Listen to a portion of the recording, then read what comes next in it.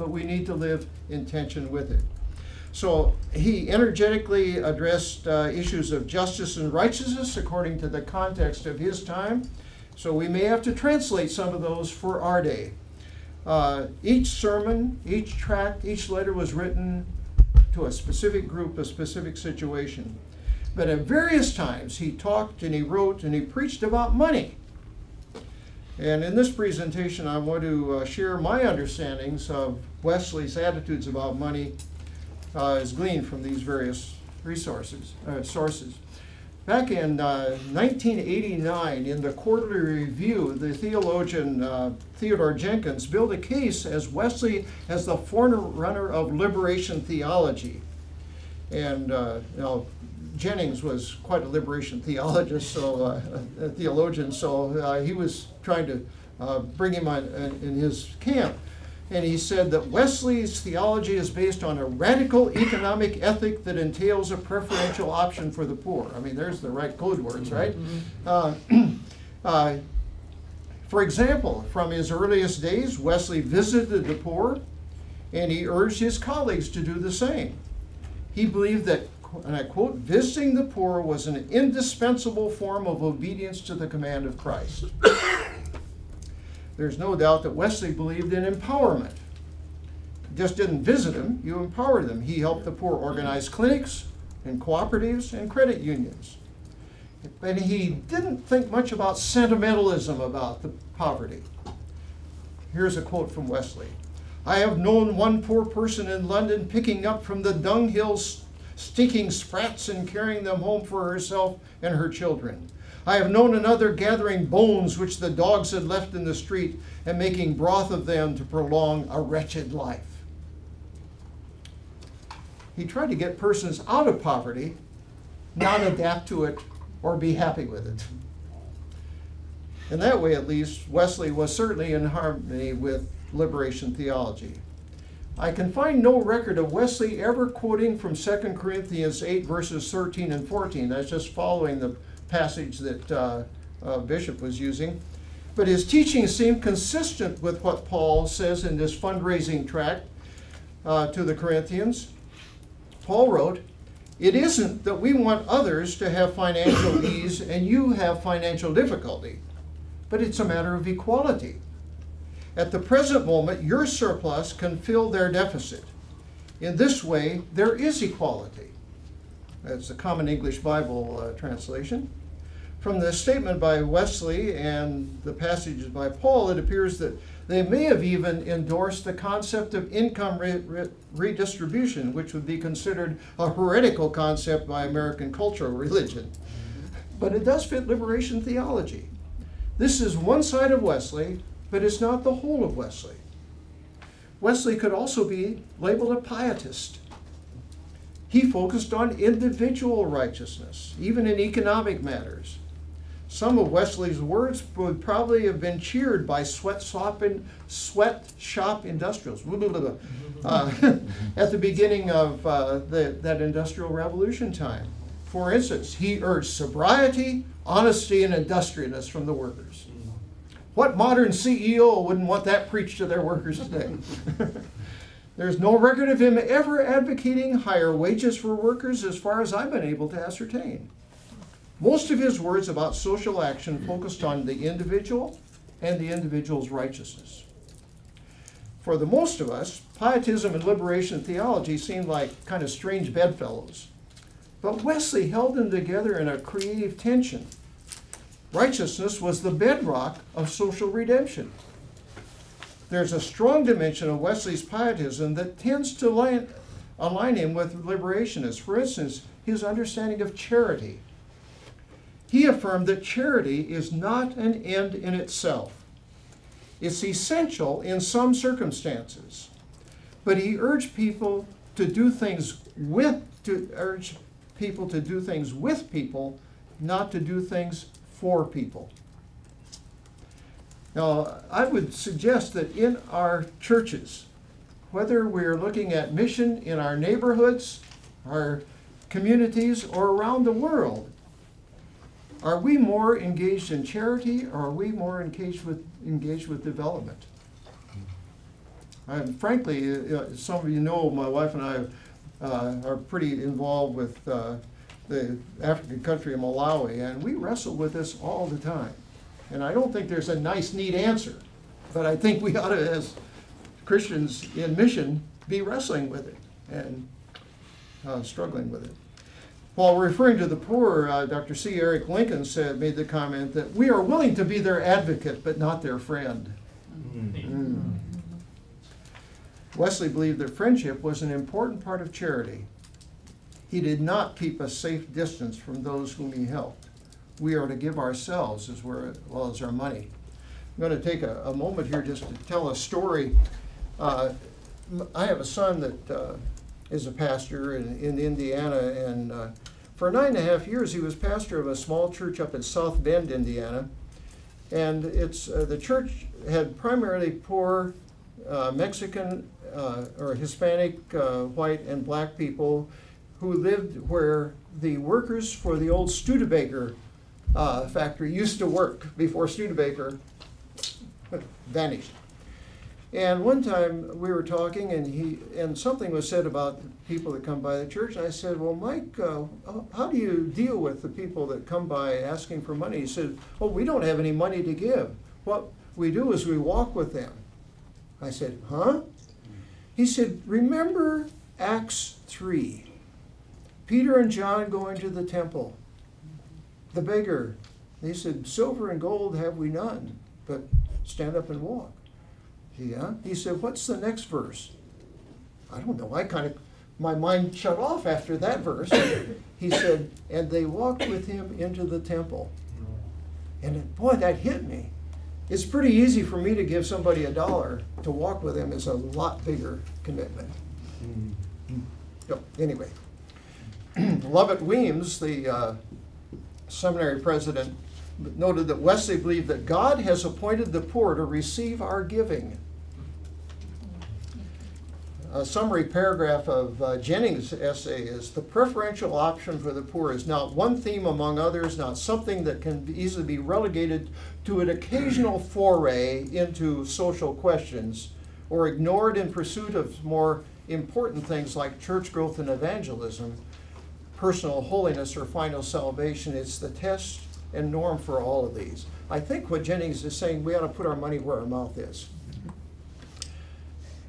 Well, I think Jennings is onto something, but I also think he goes a little too far. And I want to pursue this by turning to Wesley's preaching on money, and especially the sermon that probably most of us have heard about, where they had the threefold outline earn all you can, save all you can, give all you can.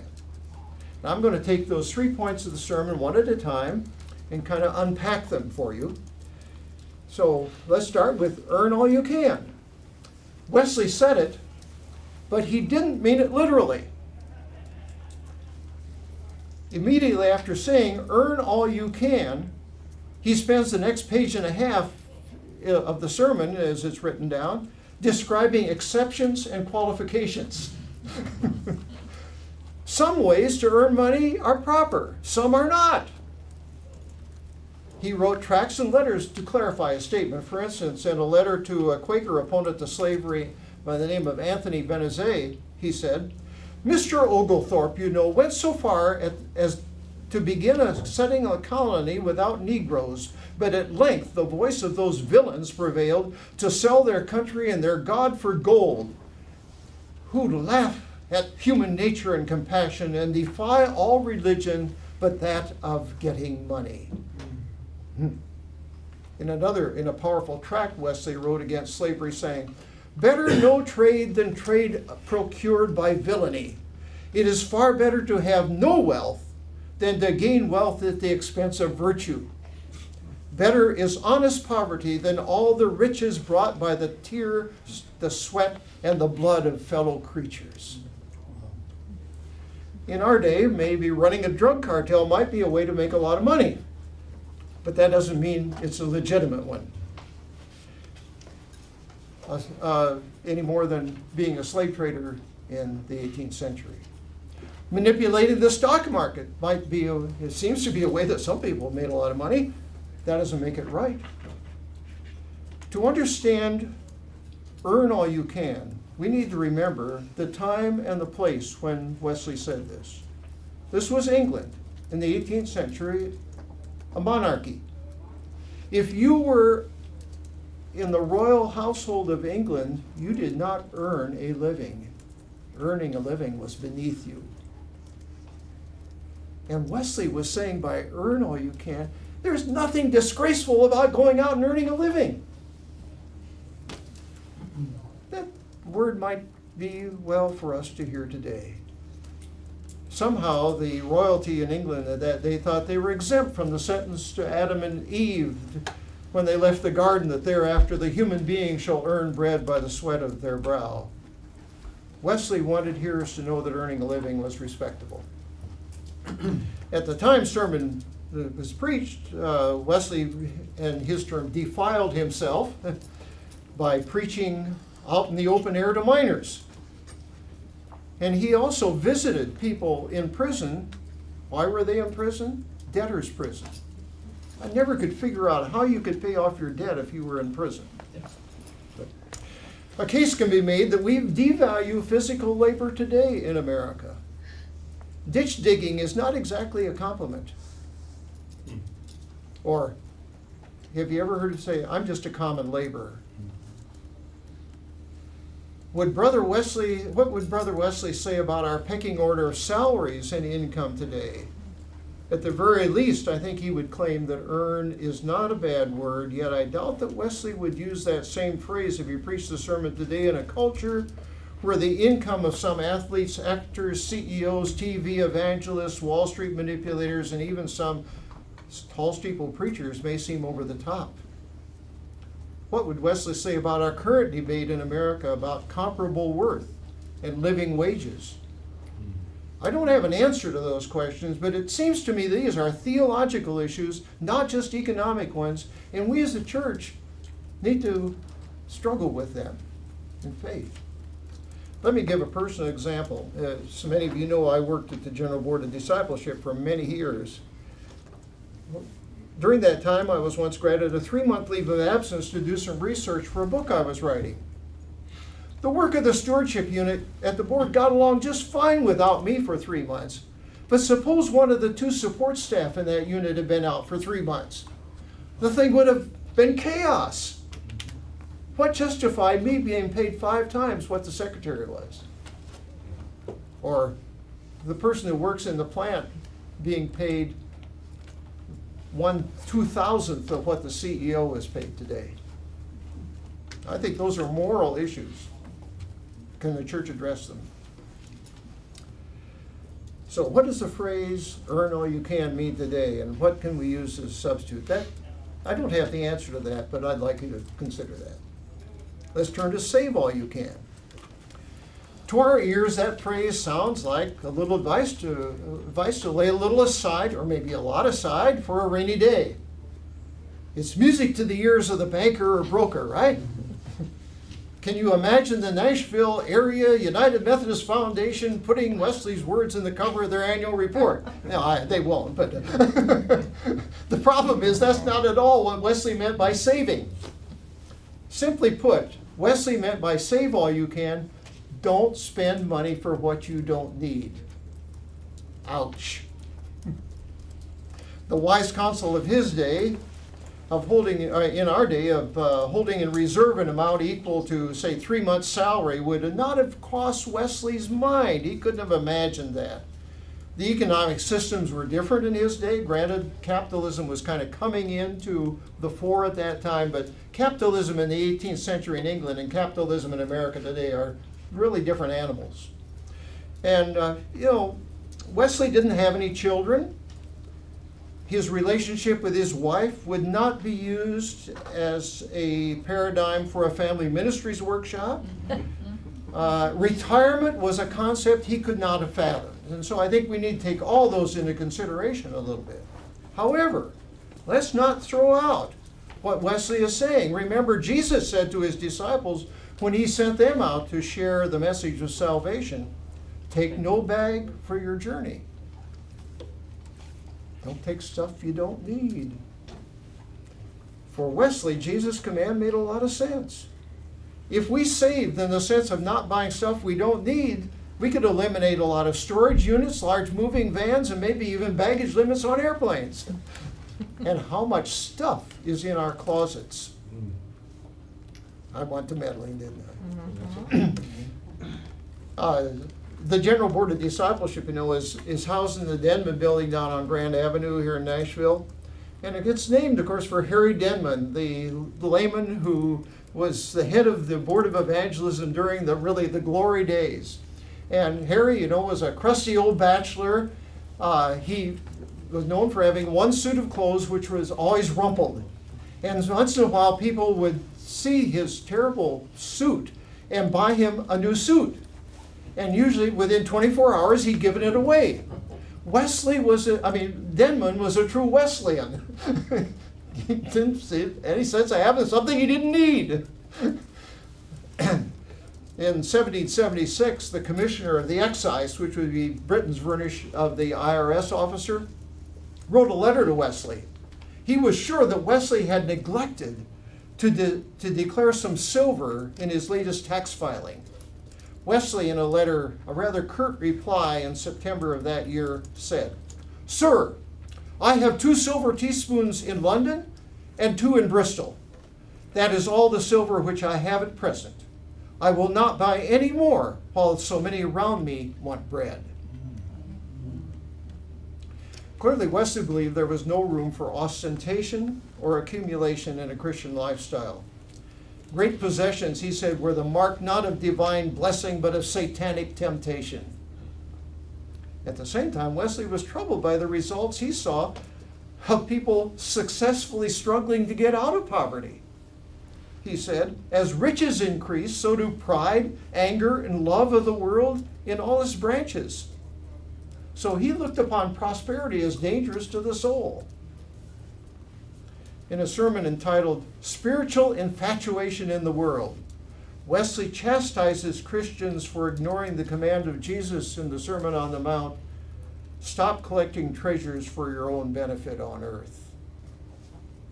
He affirms the need to provide for ourselves so as not to burden anyone, and even uh, there acknowledges that Parents ought to provide for their children the necessities of life, but he reminds his hearers that, quote, riches do not send a person to hell, but the desire for riches do. he says that having riches is bad enough, increasing them is worse. So for Wesley, anybody that has more than the necessities of life is rich. Back in 2001, two Malawians were brought over to the U.S. to attend a three or four day workshop on children's ministries that was downtown in Nashville. And I had met uh, these people in my trips there in 2000 and 2001, and uh, uh, so we arranged for them to stay at our house after they flew in on Friday until the conference would start uh, mid afternoon, Sunday afternoon. And we were going out the door Sunday morning to drive to church to hear John preach. and uh, Grace was engaged in conversation with me. And I have no idea what we were talking about, but I remember vividly she said, Yes, but you are rich. Mm. I felt like I'd been kicked in the stomach. No one had ever called me rich before. I mean, I grew up in a home where we had running water. In other words, you took the bucket out, you ran out to the well, you pumped the well, you ran back into the farmhouse with the water. Uh, you know, uh, my first pastoral appointment uh, had seven churches in the hills of southern Indiana. My total travel and salary was $4,600 a year. And uh, both my wife and I had done very poor job of, of economically choosing parents. so, uh, but you know, I, but I realize from her point of view where most of the homes in her country, if you walk into the home, there's no tables, no chairs. You sleep on a mat on the floor. Uh, there's no stove, but you have a fire outside. Why? I was rich, but that was that was a hard pill to swallow. That I was rich. uh, anyway, uh, Wesley's words, remember, were at a time when Adam Smith and his economic theories were being uh, formed in, in England and getting a foothold there. It was the beginning of modern capitalism. And Wesley was very concerned, particularly with the accumulation of property, land. His greatest concern was that if land was in too few hands, injustice was the, the result.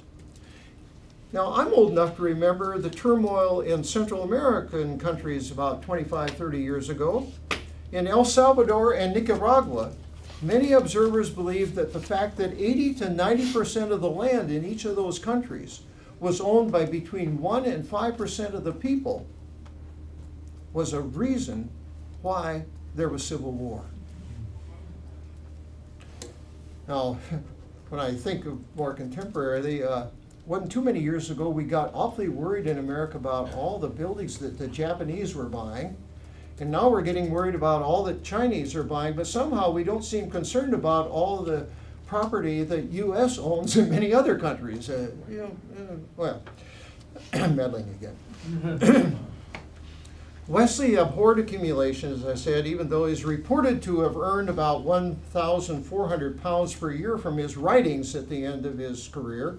He is reportedly once said to his friend, If I leave behind me 10 pounds, you and all mankind bear witness against me that I have lived and died a thief and a robber.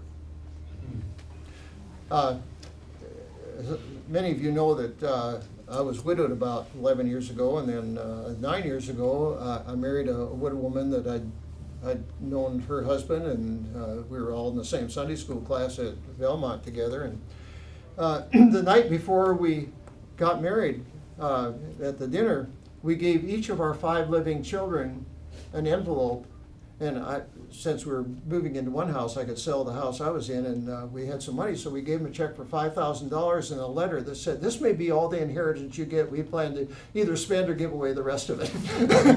oh, that was fun! so much fun.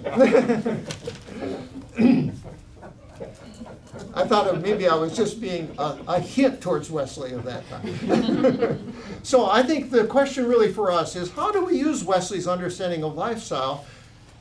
How do we communicate without sounding like we're Scrooges, trying to keep people from having any fun? Should we even use the phrase save all you can today? I, I, I doubt it.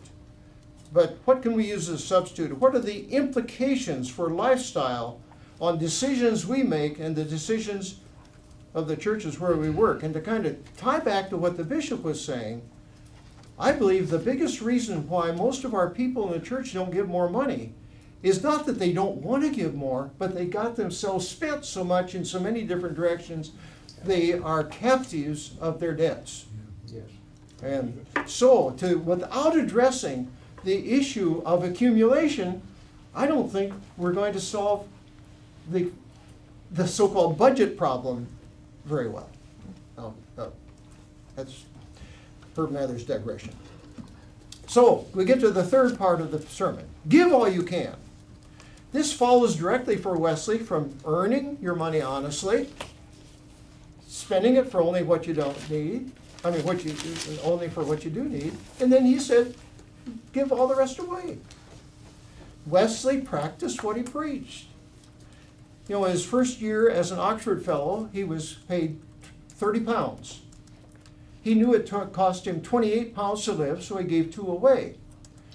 Now, uh, a professor at Vanderbilt Divinity School told me that Wesley, you know, salary kept going up as a fellow, but they never invited him back to the campus. They said he was too cantankerous.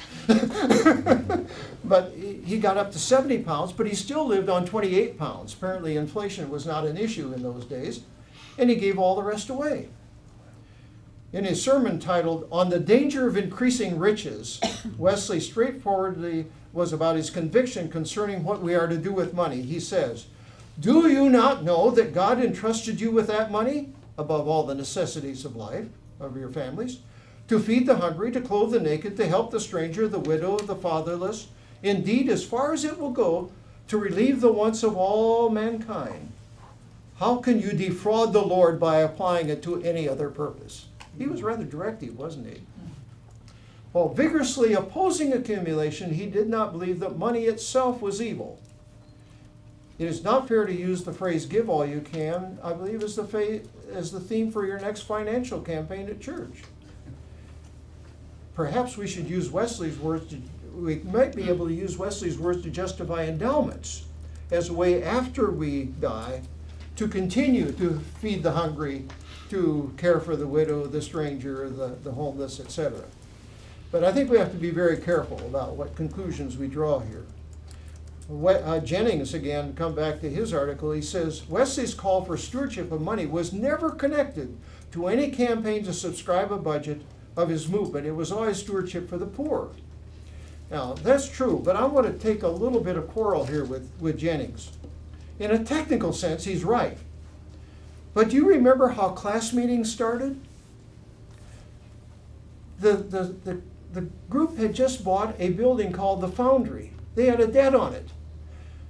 They needed, they realized if they could get a penny a week from every person who was part of this Methodist groups, they would be able to pay off the debt in the foundry. So he organized them in these class meetings as a means of collecting the penny per person per week. And it developed into a wonderful spiritual dynamic group uh, where we, we don't use it to collect money at all anymore. And uh, I'm not complaining about that at all, but I think it's rather interesting how it actually started. uh, never know what God is going to do with things we do. Sometimes God can turn things that were meant for harm into good, or meant for just kind of nothing into something good. Sometimes we can turn the other way things around too. so, um, uh, now I want to say uh, just a, a, a word about Wesley's, the theological foundation of Wesley's understanding of money. In a sermon titled "The Good Steward," which is based on Luke 16:2, Wesley says the steward is a particular kind of servant. We are not proprietors, but we are entrusted servants. He spells this out in very traditional stewardship theological language.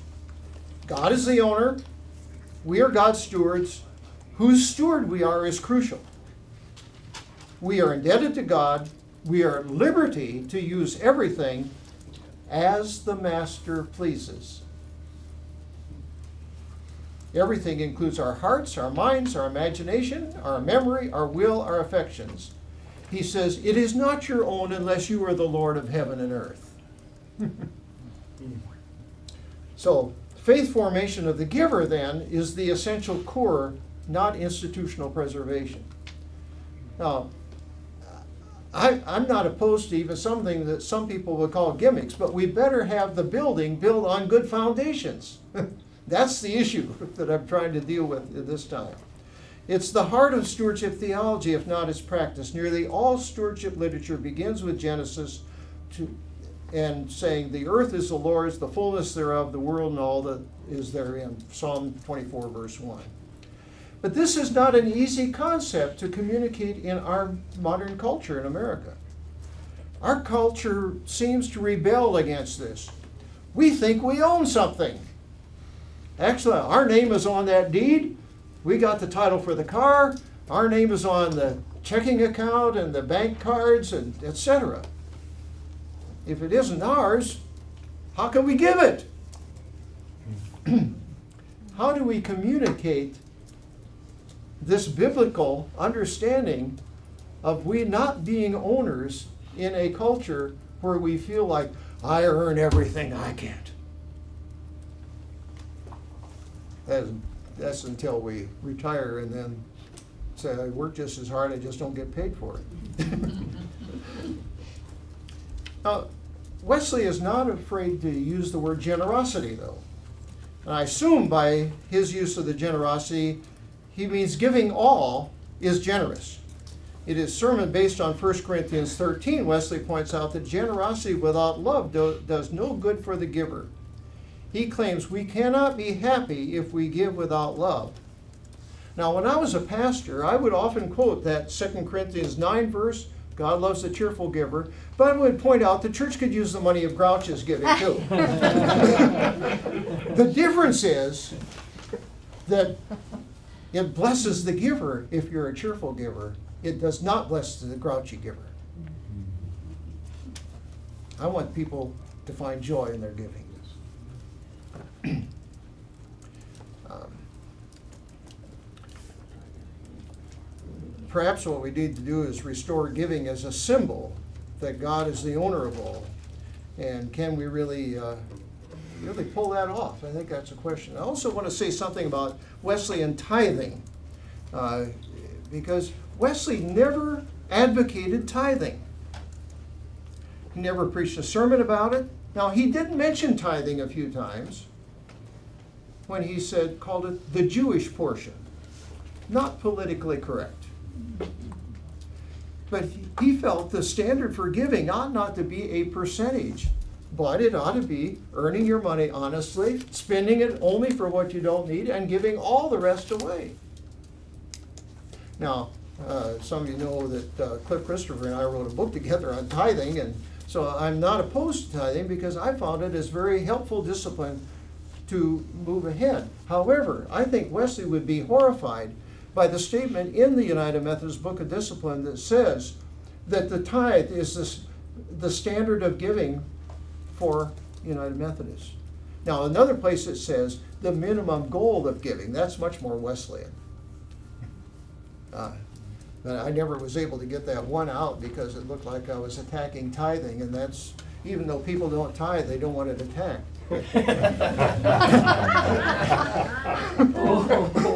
Ooh, that was nasty, wasn't it? I'm sorry.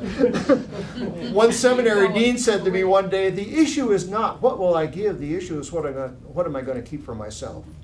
That's Wesleyan. That's Wesleyan. So, I, you know, this issue has been around for a long time, and I won't claim that uh, that there are any nice, easy answers for it. But what my appeal is, is that we start talking about these things in a setting of openness in our churches. Because until we come to grips with our relationship to money and what money and the gospel have to do with one another in our lives, I don't think we're going to solve the quote the financial problems of the church. Now, Wesley once advised, do nothing on which you cannot pray for a blessing. Every action of a Christian that is good is sanctified by the Lord of word and prayer. It becomes not a Christian to do anything so trivial that he cannot pray over it. So money is meant for holy use. Can I, can you pray a blessing over the money we spend at the store, at the restaurant, for vacations, for entertainment, as well as for the money we put in the offering plate? I think that's a spiritual mm-hmm. issue. Mm-hmm. I close with these words from Wesley's sermon on the use of money. In the hands of his children is food for the hungry, drink for the thirsty, raiment for the naked. It gives to the traveler and the stranger where to lay his head. By it we may supply the place of a husband to the widow, the father to the fatherless. It may be a defense for the oppressed, a means of health to the sick, of ease to them that are in pain. It may be eyes to the blind, the feet to the lame, yea, a lifter up from the gates of death. Boy, folks, you have suffered in this extremely hot, stuffy room through a lecture that, instead of a scintillating uh, sermon or something. But anyway, any uh, any questions, comments, uh, reflections that you want to make? Because we got a few minutes yet, I think, to go. I'm glad, I'm glad this is recorded. okay, thank you. Well, Thank you. Yeah. Were you the one that came up with the idea that uh, you can be guaranteed that if you tithe, you, there's one guarantee, that you will not be a selfish person?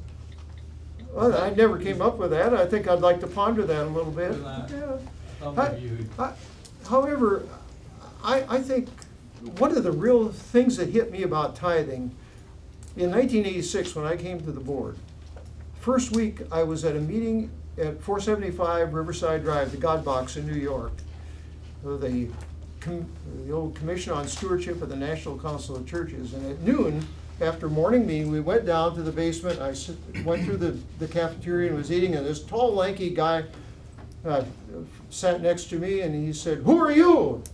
I said, Herb Mather, what do you do? And I said, well, I'm coming on as the uh, head of the stewardship unit at the General Board of Discipleship. Oh, I quit tithing ten years ago. I said, oh, yeah, I give forty percent now. And I said, oh. and then he went to tell me a story. And I have known some tithers that were so proud of the fact they gave ten percent, but they weren't gonna give a penny more. I'm not sure that tithing itself is righteous. No, you, you asked, you opened up for my opinion, I gave it to you. Yeah, Herb, you mentioned that our denomination, uh, Wesley had a, a problem with um, buildings and accumulation of buildings, and we are a denomination with accumulation of buildings. We are actually building rich and probably people poor.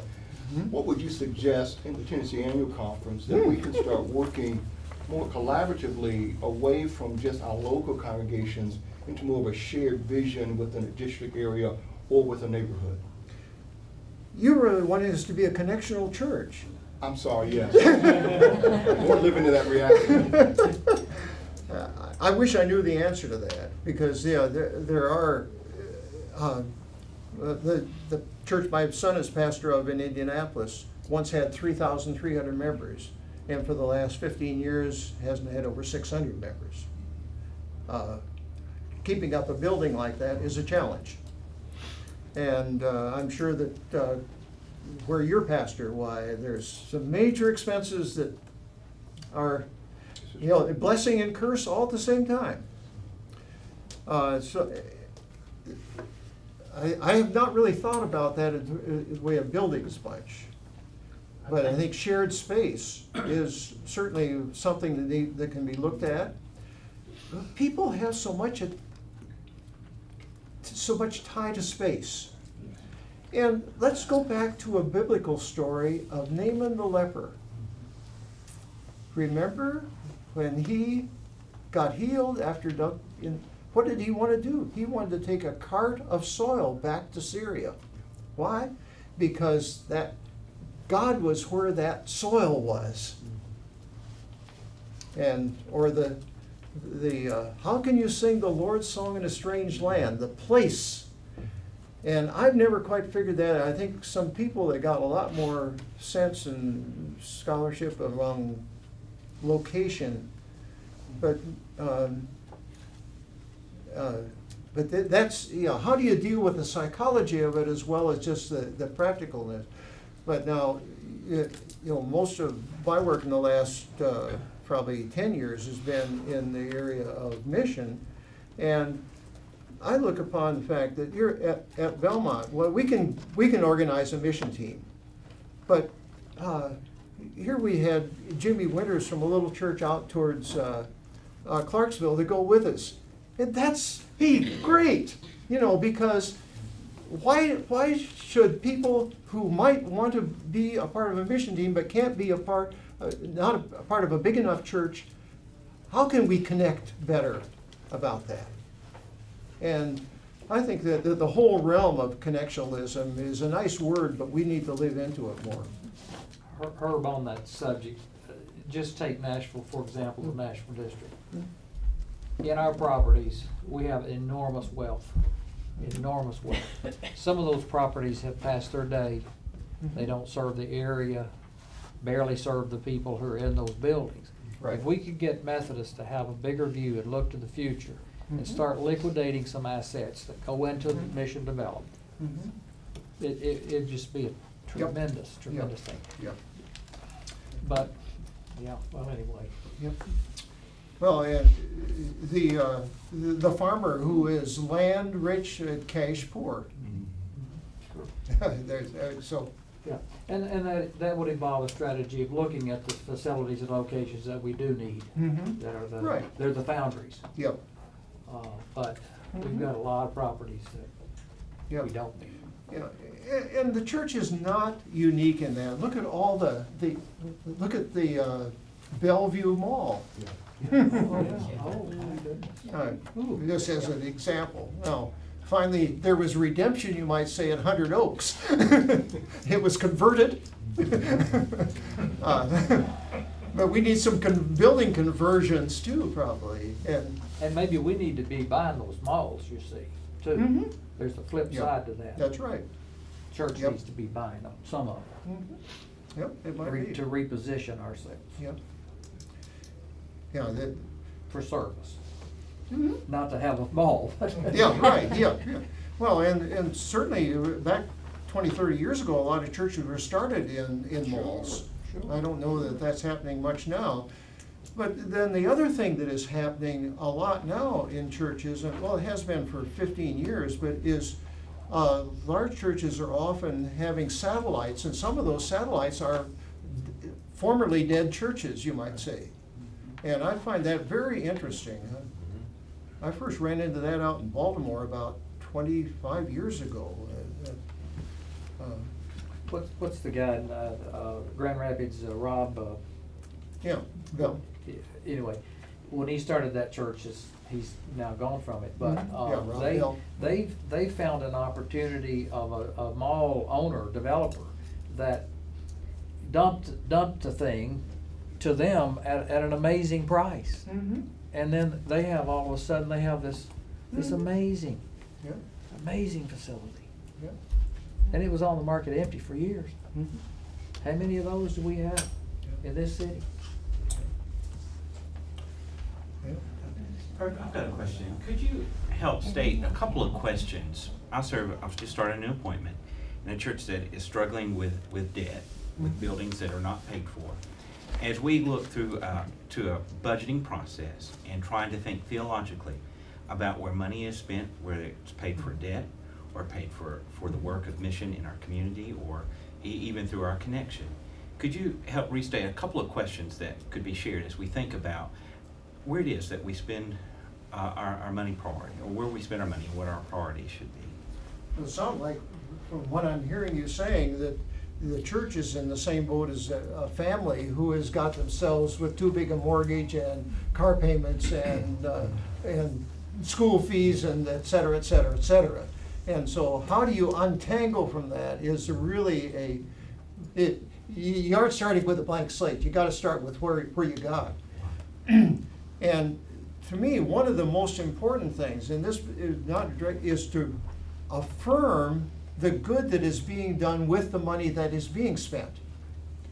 And uh, again, I, I don't know what sort of things are going on in your church, but I think of, at the church I go to, here, we have 20 12-step groups that meet in that church every week. And, and the, probably most of the churches here, many of them have Room in the Inn and things like that. It looks like all that we, we think of, well, the heat and the lights, that's stuff for ourselves. But some of that heat and light and janitorial fee is mission to make it possible for these groups to use that church. Can we interpret that so that the people can see that? I mean, don't, not trying to make it more, but just, uh, when I was, went on conference staff in Indiana, I started going to St. Mark's Church in Bloomington, and the pastor there started doing something. The first Sunday I remember him doing it, he said, just before the offering, when you folks put your money in the offering plate today, would you remember the children back in our Sunday school wing? We have 20, 25 preschool kids back there every Sunday. Those children are learning about Jesus. They're learning that God loves them. Some of that money you put in the offering plate today buys color crayons for those children. Some of it buys teachers' help so the adults who work with them know how to communicate Jesus, know how to communicate God's love. Pray for those children as you put your offering in the plate today. Every Sunday, we got some sort of reinforcement like that. And that made a real difference in that church that was saddled by a huge debt when a conference had given them a loan when they started the church and said, you don't have to start paying it off for 20 years. Not a favor. So 20 years later, hardly anybody was around that was there at the beginning because the transition of that neighborhood. And suddenly, why do we have to start paying this off? But that, frankly, that technique, gimmick, you might say, but I think people need feedback. I want to know that my giving is making a difference. Not just how much am I giving, but what difference is it making in the name of Jesus Christ in this world? And I think if you give people feedback, that helps to move that towards enjoying their giving more, finding joy in it. Uh, so, That's one of my pet mantras. that- Yeah. Well, folks, uh, I'm gonna let you out of this hot stuffy room and I'll hang around. And uh, by the way, if anybody is looking for a mission program or somebody to preach on the Sunday you're uh, wanting uh, to uh, have uh, your financial estimate of giving, why, I'm probably not gonna be available this year since I'm gonna be out of the country from the middle of September to the middle of October and then out of state one week after I get back from out of the country, so. But uh, I, I enjoy doing that and, uh, and my wife and I love to go and tell about Malawi anywhere, anytime. So, you go in peace and may God's peace go with you and struggle with these things for the glory of God.